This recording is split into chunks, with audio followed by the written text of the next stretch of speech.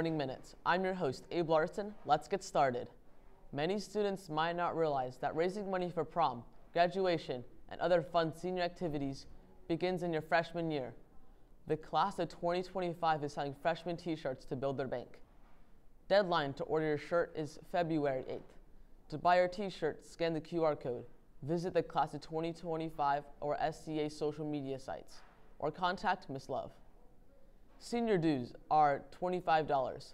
Pay your senior dues by February 11th in the upstairs annex or the online by using Student Quick Pay.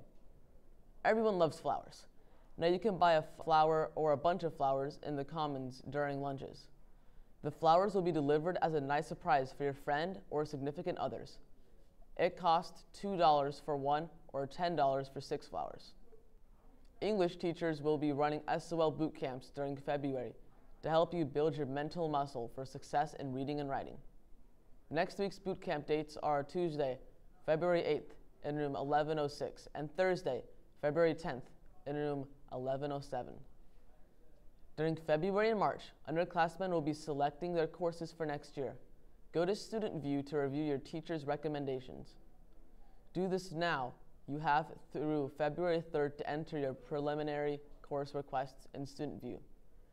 Directions on how to make the requests are found in the Patriot Student course under the scheduling page. During one of your English classes, you will meet individually with your counselor to go over your course requests. If you are not able to enter the request in StudentVUE, your counselor will do it for you when you meet. I'm Abe Larson, and this has been the Morning Minute. Have an amazing day, Pioneers.